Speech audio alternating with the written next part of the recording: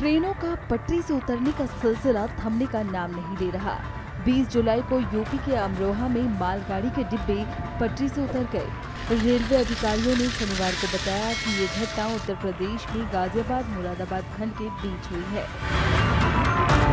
इस संबंध में ट्रेनों की आवाजाही के लिए मुरादाबाद, सहारनपुर, मेरठ, गाजियाबाद के बीच एक वैकल्पिक मार्ग खोला गया है। इस घटना में किसी के हताहत होने की सूचना नहीं है।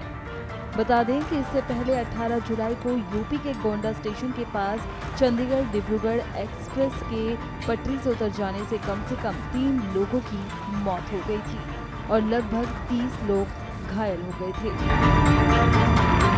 अधिकारियों के मुताबिक डिब्रूगढ़ एक्सप्रेस के आगे के चार से पाँच डिब्बे पटरी से उतर गए थे।